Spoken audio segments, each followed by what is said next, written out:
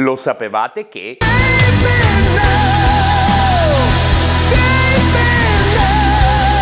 Dopo 19 anni di attesa, il nuovo album di Bruce Dickinson è finalmente arrivato. Ed ancora una volta Lay Red Siren spiazza e stupisce. In bene? In male? Questo lo deciderà il vostro cuore all'ascolto, perché nessuno potrà mai dirvi cosa provare. Solo la musica stessa potrà o meno sfiorarvi l'anima. L'analisi che farò di questo platter sarà esclusivamente musicale. Per addentrarmi nel significato e nella comprensione dei testi servono davvero molti ascolti ed una ricerca approfondita che sull'immediato è impossibile possibile fare. Afterglow of Ragnarok apre in maniera massiccia e pesante, con un riff compresso e cupo ed un cantato heavy metal più che mai, che arriva ad un ritornello tra i più indovinati mai scritti da Bruce. Un ottimo pezzo, qui navighiamo ma riconosciuti. Many Doors to Hell cambia subito il registro umorale dell'album. Un pezzo hard rock, Scorpions like, sostenuto da un ritornello che sembra uscito a pie pari da Tattooed Millionaire. Ti ritrovi già a canticchiarlo al primo ascolto. Ci riporta un po' agli anni 80. Rain on the Graves suona ancora hard rock, anche se in maniera più granitica, con l'organo psichedelico di Misteria che incrocia la chitarra di Roy ed un cantato ironico e sadico, un po' teatrale dell'Air Raid Siren. Il tiro è andante e per l'ennesima volta Bruce fa centro col ritornello che rimane subito in testa. Chiude di nuovo un Roy Z ispiratissimo, con uno dei tanti bellissimi soli di quest'album.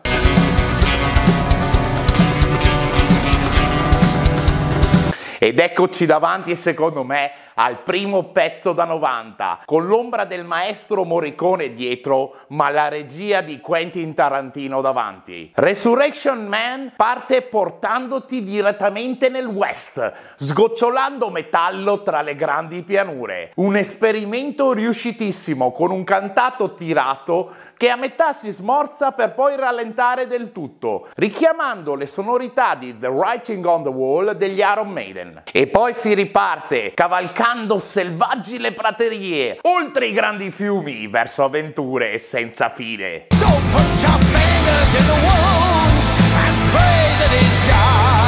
Misteria sale in cattedra e le sue tastiere introducono un altro pezzo che entra subito nel sangue. Finger in the Wounds è un pezzo epico, veloce e bellissimo, con una linea vocale di Bruce da antologia, intramezzata prima da soffici tocchi di piano e poi da una parte strumentale arabeggiante che segna l'anima dal primo ascolto. Ancora, ancora!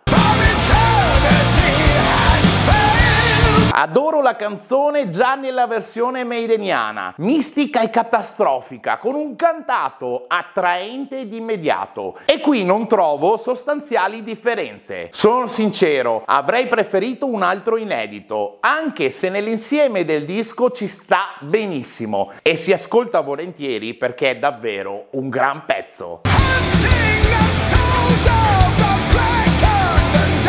E si ritorna all'heavy metal, quello più classico, con Mistress of Mercy. Piede sull'acceleratore, con un Roy Z ancora sugli scudi. Davvero un guitar hero eccezionale. Bruce qui si muove sulle strade a lui più congeniali e quando corre per le corsie del metal, l'Ired Siren ha pochi rivali. Look at your face in the mirror. È il momento della ballad ed ancora una volta Bruce Bruce spiazza con un pezzo che non ricorda nessuna delle precedenti composte. Si rallenta ma con ritmo, fra chitarra acustica e pianoforte ed un cantato introspettivo, riflessivo, delicato, da lunghi viaggi notturni mentre il mondo scorre via intorno a te e di flashback ti sussurrano voci del passato che non tacciono mai.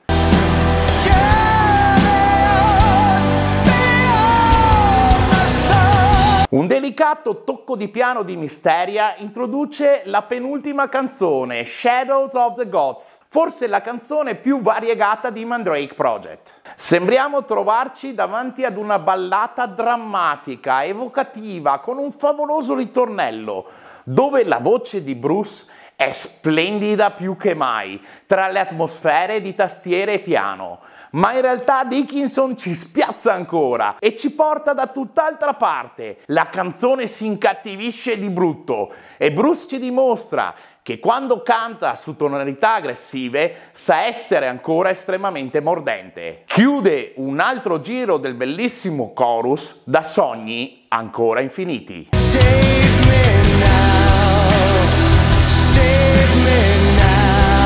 nata da un'improvvisazione ispirata alla Moonlight Sonata di Beethoven, creata da Roy stesso dopo aver visto il film Immortal Beloved, ed un Bruce che ci ha cantato sopra il primo ascolto, senza comporre nessuna melodia o testo. L'attesa di questa canzone aveva creato in me un hype di entusiasmo elevatissimo, ma dopo aver letto le prime recensioni avevo paura di trovarmi davanti a una cocente delusione. Non è stato assolutamente così, anzi tutt'altro. A me questa canzone prende dentro, in fondo, e lo ha fatto fin da subito, da quel Save Me Now ripetuto, epico, evocativo, a quella parte lenta, con un sound che sa tanto di The Chemical Wedding, quasi sussurrata che viene dal cuore e passa attraverso l'ugola senza filtri, senza la ragione, come una sorta di canto dall'anima diretto, senza forma, senza struttura. Bruce ha osato, ha cercato questa volta di uscire da ogni suo schema,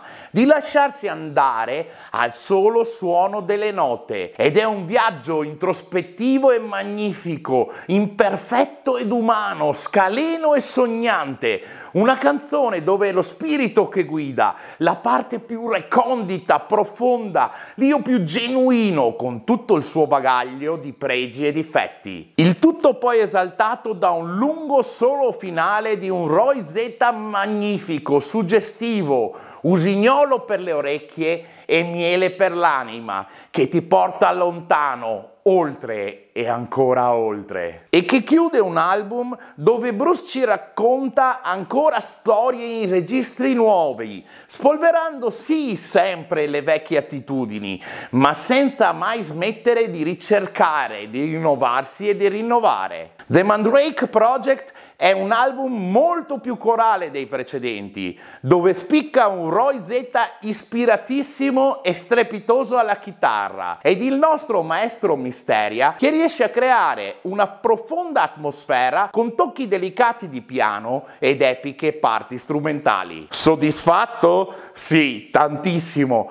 perché quello che io voglio da un artista di questo calibro sono nuovi sentieri mai battuti con tutto quello che ne comporta. La perfezione dell'imperfezione, che secondo me in sonata raggiunge l'apice massimo dello stile di quest'album. Citando il professor Keating del divino Robin Williams, andai nei boschi perché desideravo vivere con saggezza e profondità e succhiare il midollo della vita e sbaragliare tutto ciò che non era vita.